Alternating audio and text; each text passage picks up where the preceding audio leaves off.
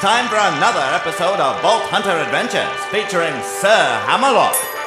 Danger looms on the horizon, for while Handsome Jack may be gone, his legacy lives on. That's it, Vault Hunter. It's time to face my wrath!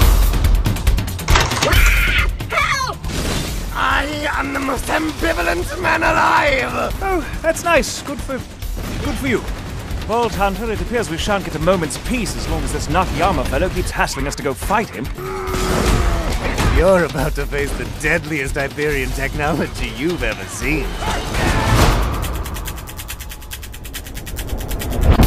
Within the bowels of this continent lie dozens of creatures for us to track down. Savages roam these lands. Nevertheless, we should be fine so long as we don't make too much noise. Tally ho! Thank you for joining me on this expedition, by the by. One can get rather lonely on treks such as these, and my right hand being made of metal, I'm incapable of amusing myself in the way most other males would.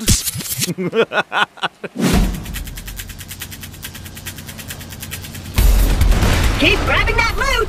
Minion! Minion! Come on, everybody! Mi- Nobody? Just me? Okay. You may be a walking apocalypse, but I've got my brain and my guns. Vault Hunter, I fear things are about to get hairy. So ends another Vault Hunter Adventure.